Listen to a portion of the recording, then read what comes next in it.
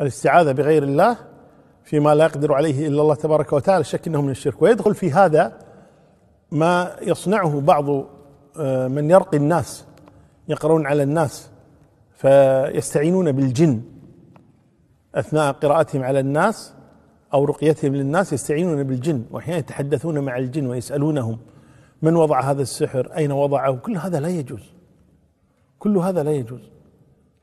آه، فلا يجوز إذن الذهاب إلى هؤلاء الذين يتعاملون مع الجن وإن ادعوا أن هذا جن مسلم وأنه يساعدنا هذا كلام فاضي لا قيمة له ابدا. وما أدراك أنه جني مسلم. كيف تعلم؟ الآن إذا جاءني إنسان وقال لي أنا مسلم احتمال يكون صادقا واحتمال يكون كاذبا. طيب كيف أعرف صدقه من كذبه؟ أسأل عنه. أين تسكن؟ أين تعمل؟ أين تجلس؟ أذهب وأسأل في عمله فلان تعرفونه هل هو مسلم أو لا؟ أين تعمل؟ فلان تعرفونه مسلم أو لا؟ أين تجلس؟ فلان أعرف أستطيع أن أصل إلى نتيجة. طيب الجني وين نسأل عنه؟ أين نسأل عن الجني؟ جاني جني قال منافق. ما عنده مشكلة يقول أنا مسلم. منافق. وقال أنا مسلم. يكذب. كيف أتثبت؟ هو صادق أو كاذب؟ لا يمكن. فدعوى أن هذا الجني مسلم. ما يدرك أنه مسلم. كيف علمت أنه مسلم؟ بدعواه؟ لا تكفي دعوة. أصلا لو كان مسلما فإنه ممنوع من التعامل معك.